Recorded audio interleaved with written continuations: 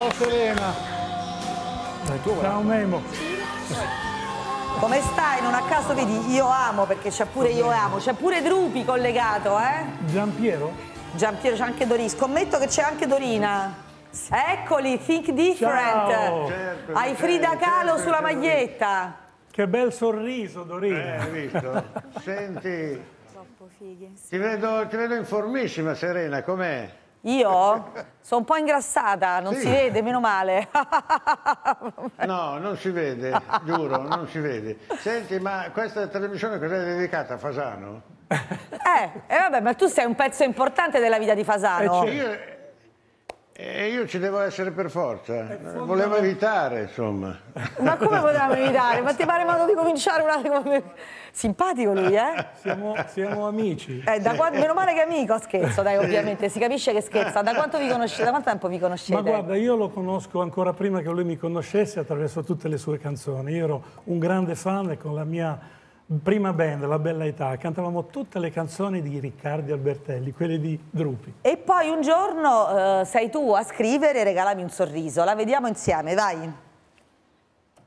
Regalami un sorriso. Regalami un sorriso. Ti chiamano la voce negra di Sanremo. Ti piace questa cosa qui oppure è sempre una cosa ripetuta che alla fine può anche stufarti? No, perché? No. No. ma I cantanti di colori sono bravi. Sono bravi. Questo è, questo è un, grosso, un grosso complimento.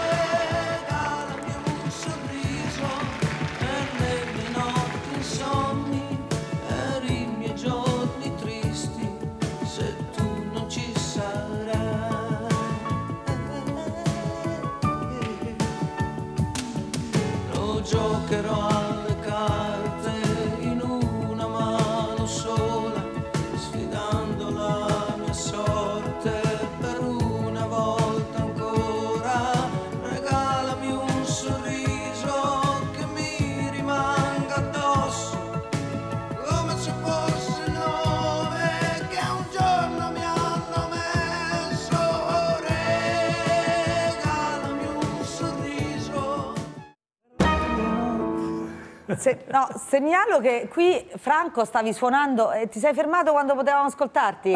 Scusami, ma è vero che tu avevi fatto una versione completamente diversa da quella che poi è stata portata a Sanremo? Ma guarda, in realtà io non ho mai scritto le canzoni apposta per le grandi voci che poi le hanno cantate, le scrivevo per me. Meno male che però nel caso di Drupi ha incontrato lui, perché, perché poi lui l'ha, l'ha resa più moderna. Io pensavo, avevo scritta che sembrava un minuetto all'inizio. Tipo? E fammela ascoltare, sono curiosa. Regalami un sorriso per i miei giorni tristi, per quando farà buio e tu non ci sarai. Poi lui la drupizzò.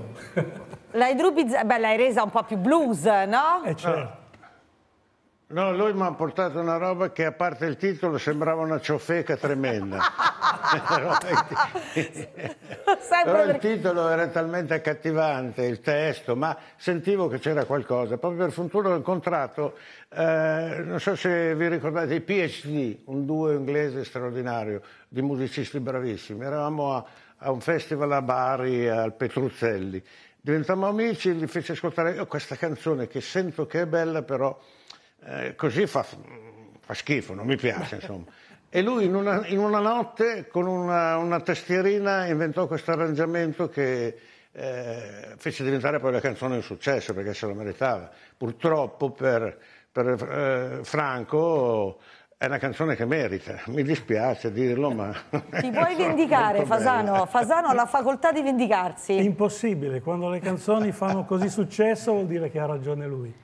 No, eh, vuol dire anche che la tua musica era bella, però, Eh, scusami. vabbè, vabbè. Sei- però la tua versione era più romantica, lo sai anche di natura? Ma io sono romantico di natura, sono, sono portato a innamorarmi delle cose belle. E peraltro i tuoi genitori si parlavano in musica, giusto? Assolutamente sì. Cioè, che facevano? Niente, innanzitutto mio padre è fotografo, eh, pugliese, eh, si trasferì a Torino, mentre mia mamma era una ragazzina che dalla Val d'Aosta per studiare nel pomeriggio andava ad aiutare quello che poi sarebbe diventato il mio papà, suo marito. La loro canzone era questa.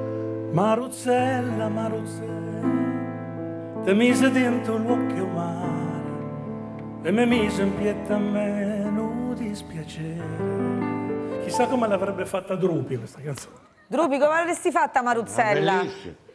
Eh? Come Da Dio, perché è una, canzone di- è una canzone che amo da morire questa.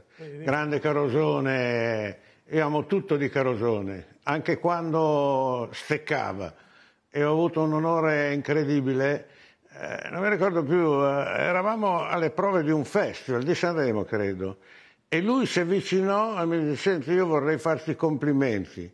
Ho detto, lei a me i complimenti, ma io le bacio le mani, io l'abbraccio, mi inginocchio. Grande pianista. Grande pianista. Beh, delizioso. enorme. sì. Comunque, anche Franco fa un suo primo Sanremo, è il 1981, vediamolo. Franco Fasano, un'isola alle Hawaii. un'isola alle Hawaii a quel concorso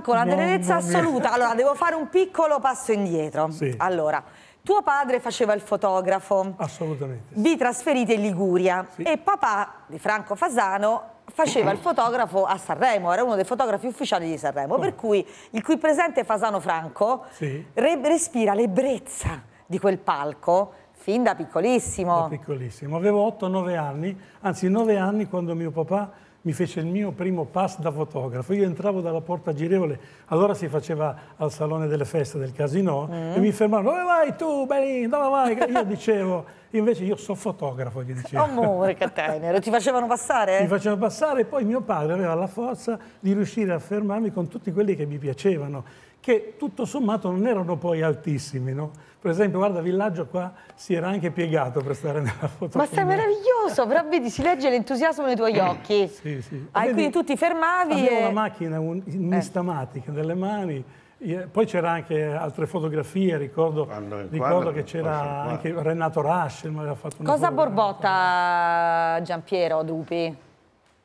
Che c'ha da borbottare? Eccolo. Rachel com'è, Eccolo vabbè, Raschel, adorabili. sì, sì. No, no, stiamo, stiamo parlando io e Dorina per vedere quanto, quanto era dolce.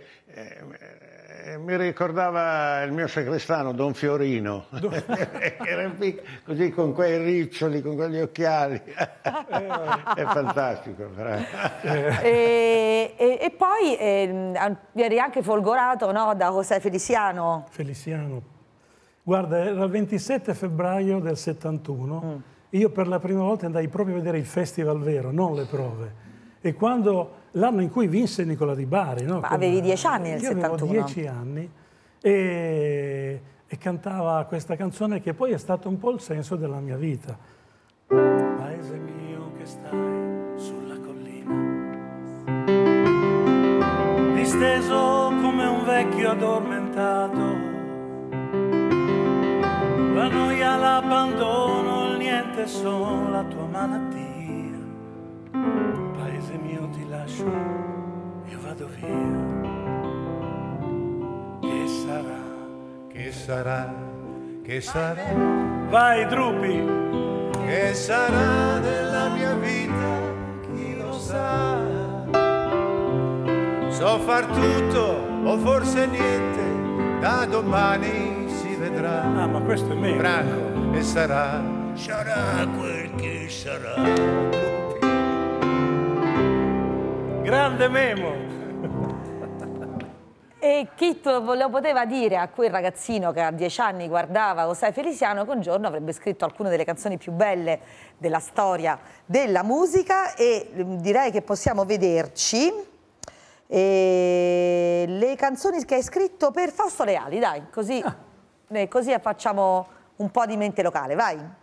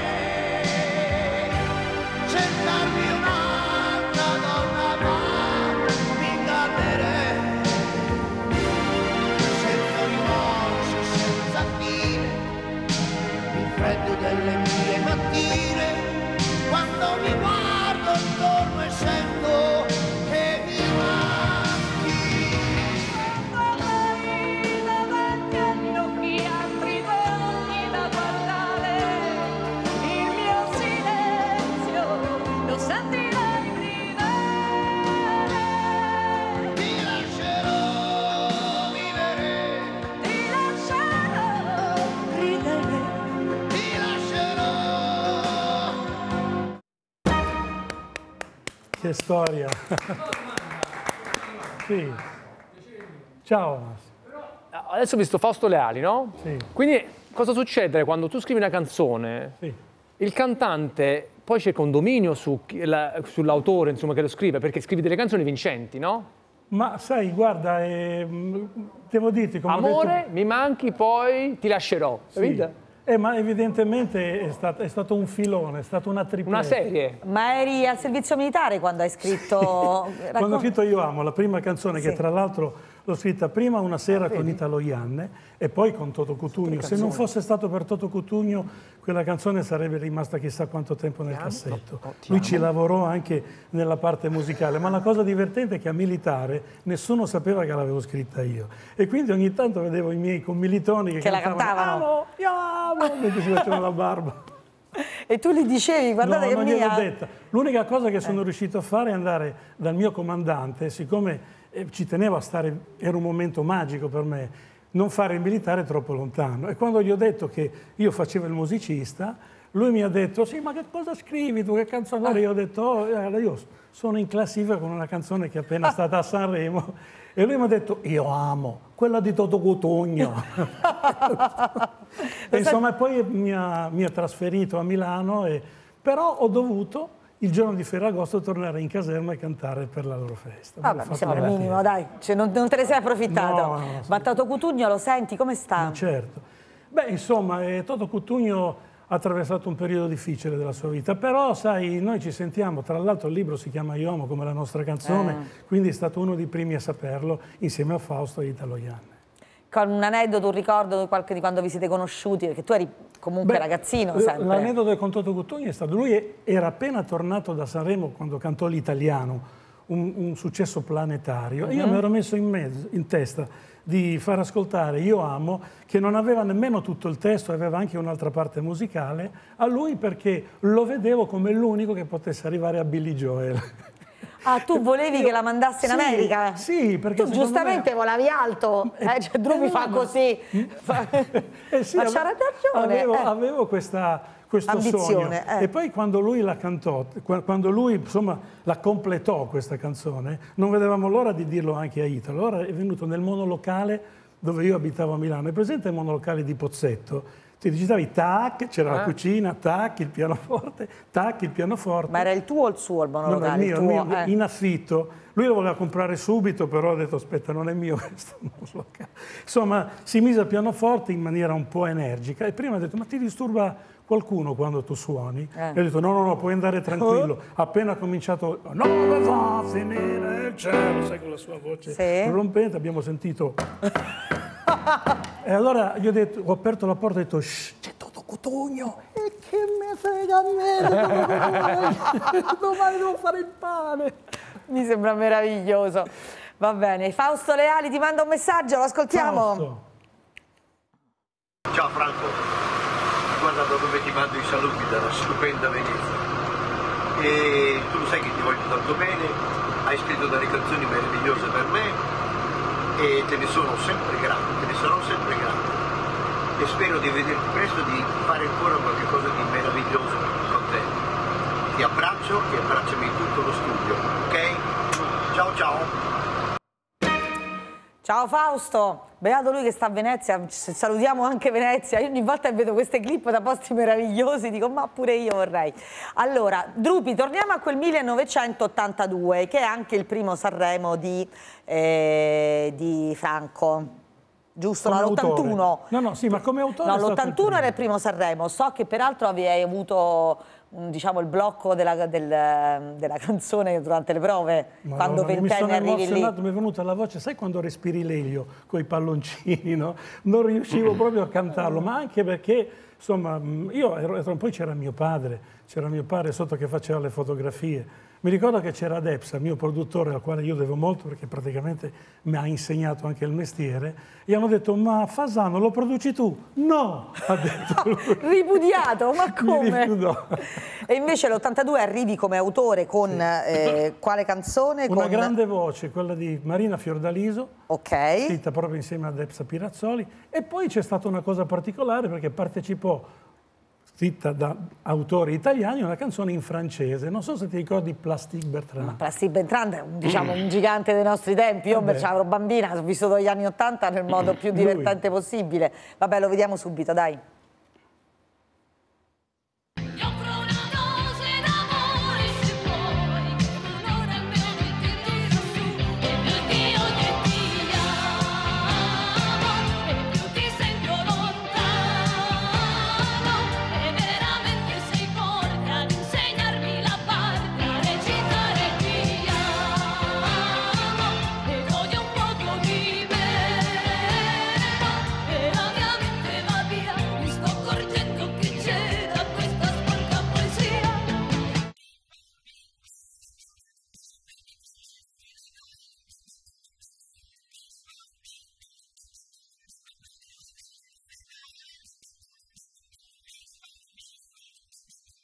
J'ai le cœur qui rebondit, je vais gagner la partie.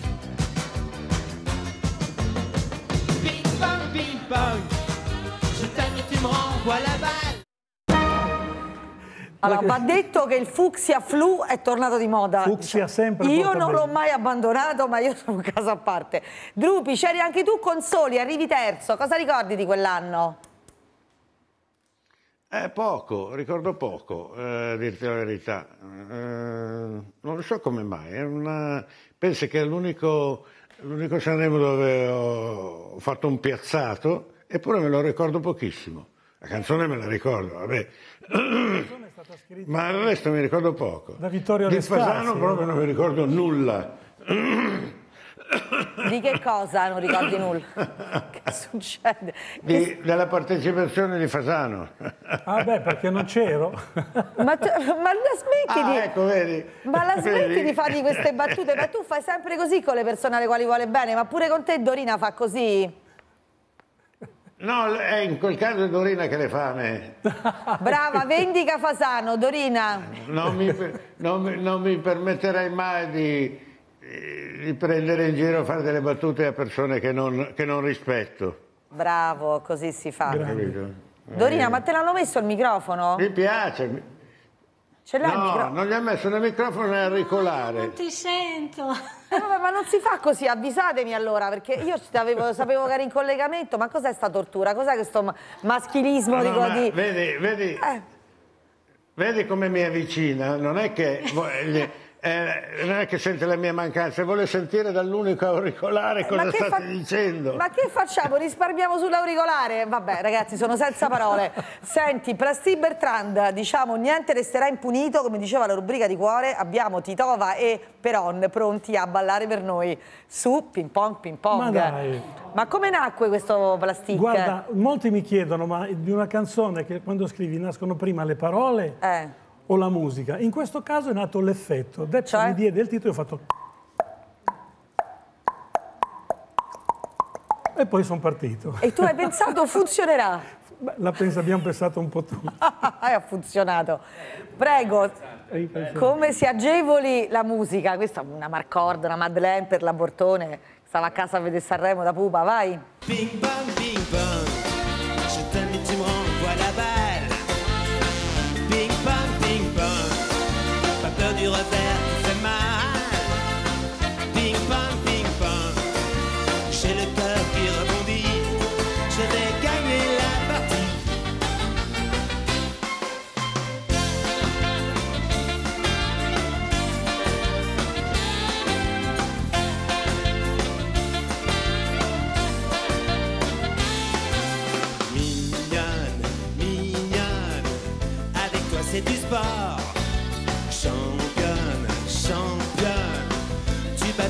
L'amour est un match qui se joue à deux. N'hésite pas, tu smash pour gagner le jeu. Ping pong, ping pong, je t'aime et tu me renvoies la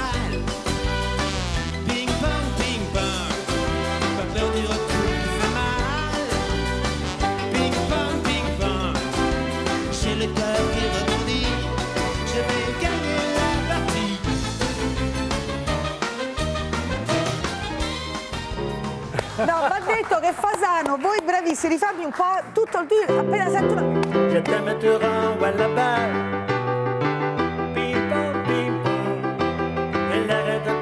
fa mal. Le parole non me le ricordo.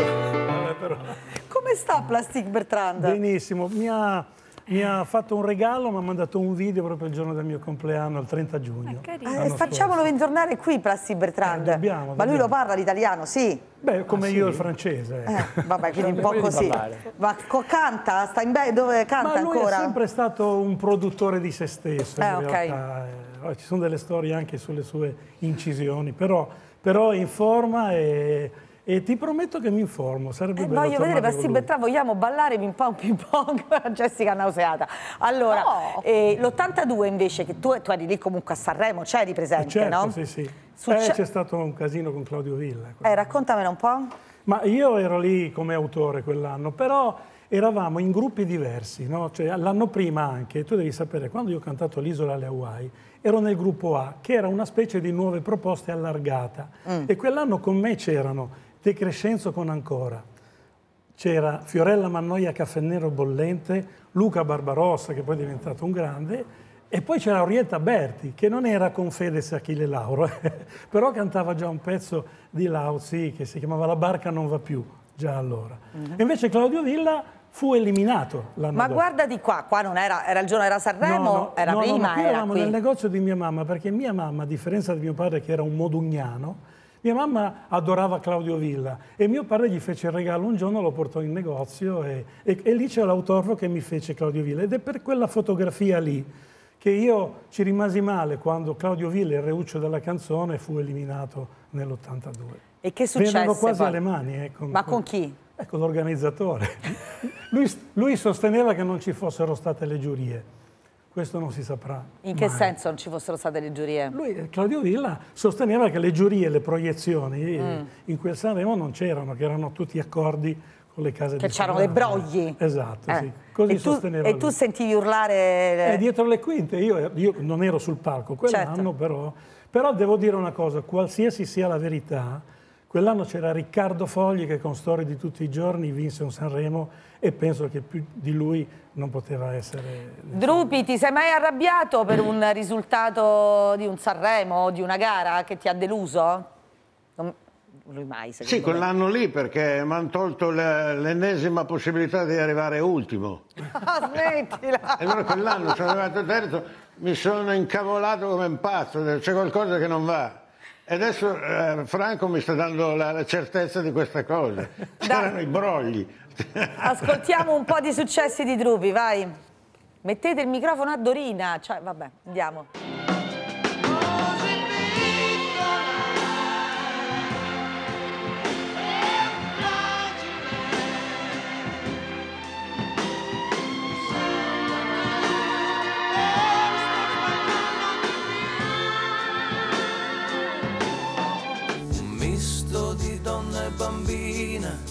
Samba Rio. Giochiamo a fare mattina finché si può.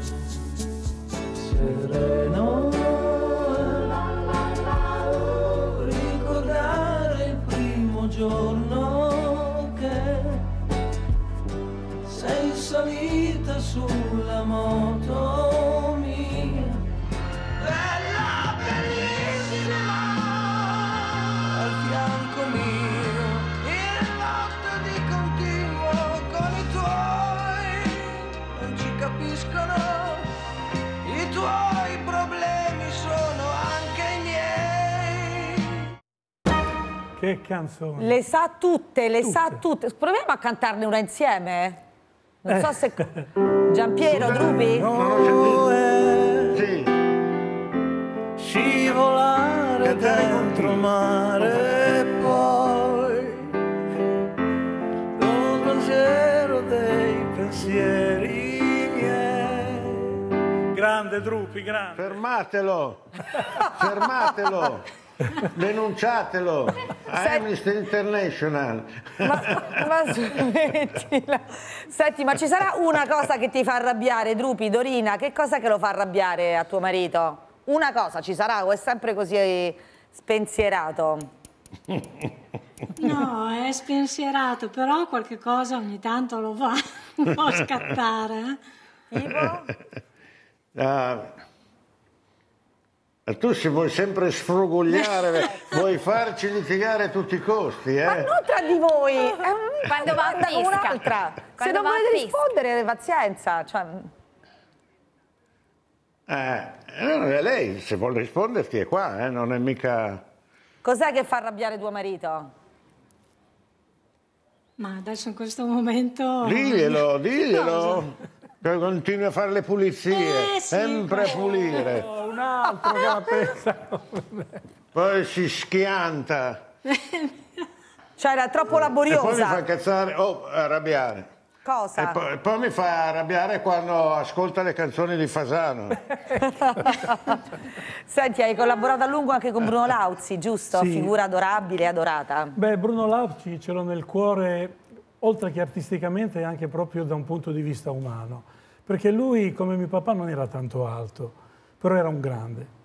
E, e, come mio papà non guidava, gli ultimi anni della sua vita ho avuto il privilegio di accompagnarlo un po' di giro, l'ho portato anche a un'edizione del Club Tenco. Però il premio alla carriera sono riuscito a consegnarglielo io proprio in occasione del premio Mia Martini, di cui dal 2005 curo la direzione artistica. Eccola là la fotografia. E quindi ti ricordava un po' papà? Sì, Eh, ma per tante cose. E poi anche come mio papà purtroppo si è ammalato di Parkinson. E, mm, vabbè,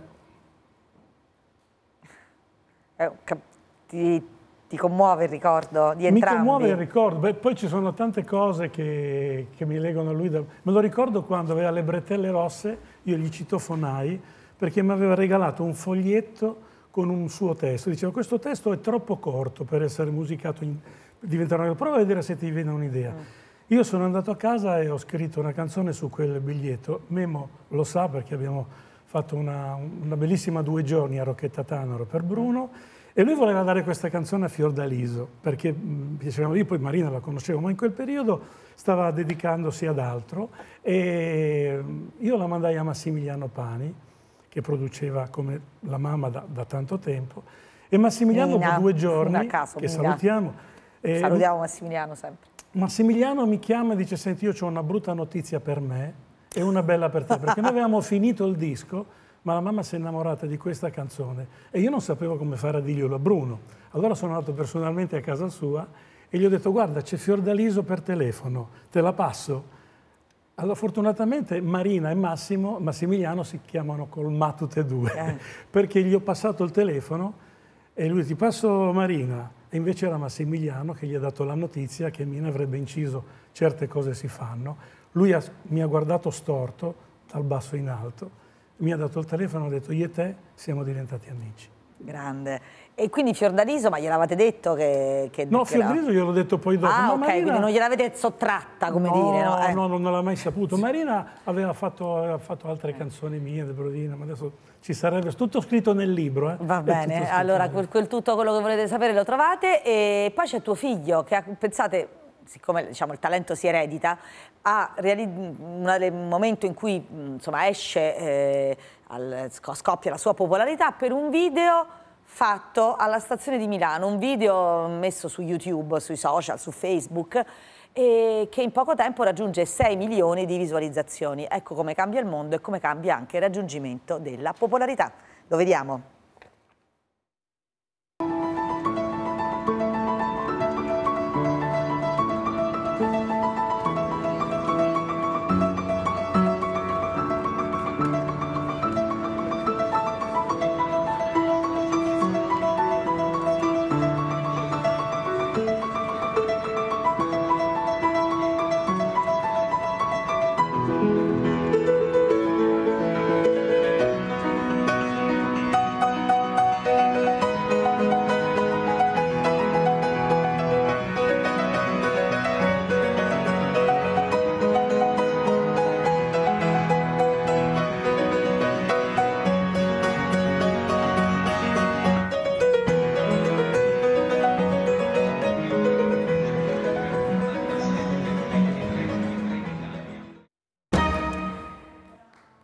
Bravissimo Emanuele Fasano, Emanuele Fasano giusto appunto, però vederlo ti emoziona.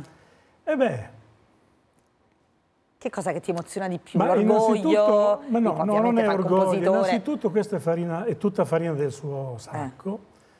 però penso a che cosa provava mio padre quando mi vedeva, ecco. Mm. È un po' la, la storia che si ripete, no? Ma ve lo siete detti, papà ti ha mai detto quanto era orgoglioso di te? No, ma guarda, io grazie a Regalami un sorriso, piano piano ho smesso di essere figlio del fotografo fino a un certo punto, perché poi per Peppino Di Capri lo sono ancora adesso. Però grazie a Regalami un sorriso mio padre ha cominciato a diventare un po' il papà dell'autore.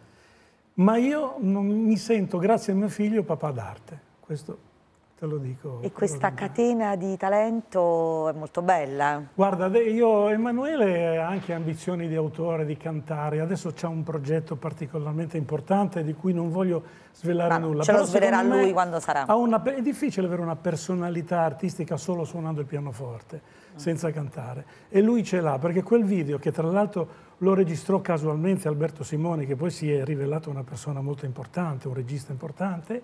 Cioè non conosceva tuo no, figlio? non ci siamo, io l'ho conosciuto grazie a Emanuele. Lui è passato, ha visto questo ragazzo Sì, era di fretta, anzi che- pensavo fo- addirittura che, che non fosse italiano ed era la vigilia Natale. La cosa incredibile è che Emanuele mi aveva detto che aveva sognato suo nonno e gli aveva detto vai a trovare papà a Natale. E così è stato. Cioè Emanuele aveva sognato tuo papà, che si chiamava papà? Antonio. Antonio, che gli diceva vai a trovare papà. Si ferma alla stazione dove spesso mettono, stazione aeroporti, no? c'è questa bella usanza di mettere gli strumenti.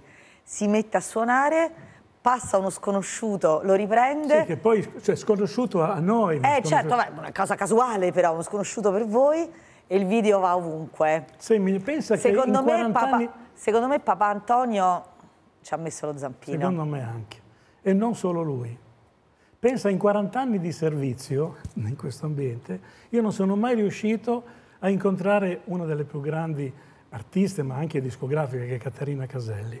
Me l'ha presentato Emanuele perché Caterina, dopo aver visto questo, questo filmato, ha voluto conoscerlo e ha prodotto il suo primo disco. Ma papà te lo disse quanto era orgoglioso di te? Beh, si vedeva. E tu gliel'hai detto quanto gli volevi bene e quanto gli eri grato anche? Lo sapeva. Lo Zecchino d'Oro, hai fatto anche tante canzoni per bambini, dai, facciamo, salutiamoci con un sorriso, Vai. vai.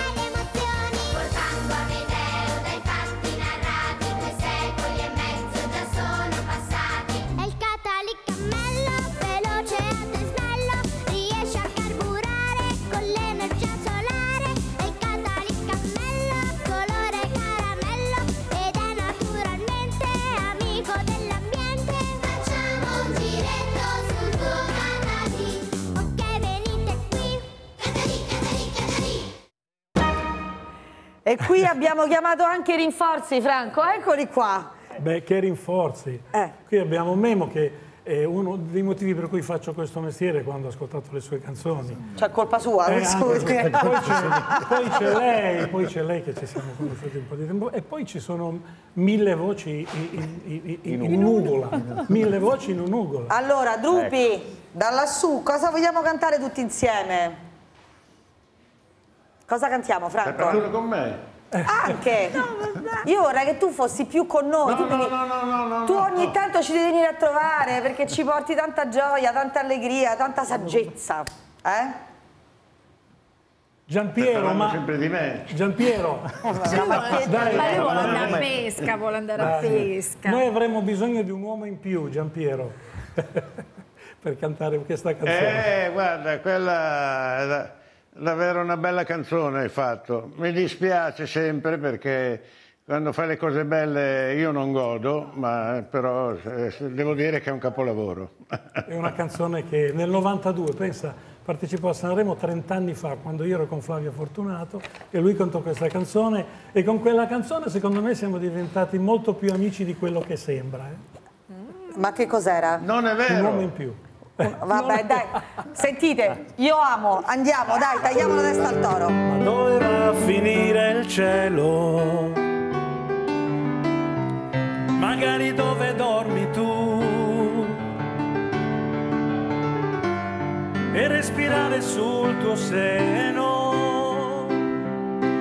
Amo, amo, amo. Ma questa canzone avrebbero potuto cantarla tante voci, sai? Sbadiglia piano una finestra, sì. Tra le persiane un po' di blu. E non solo Eros. Mi sveglio già mi batti in testa. Amo, amo, io amo. Ma anche una versione più alla... Tu solamente tu. Non aver paura. E chissà Dalla come l'avrebbe fatta. Non sarai, non sarai, non sarai più sola, più sola mai. Amo, je vous dis, amo, io amo. Ma io l'ho sentita cantare una volta anche da Tony Dallara. C'è, a lui. Tu solamente tu.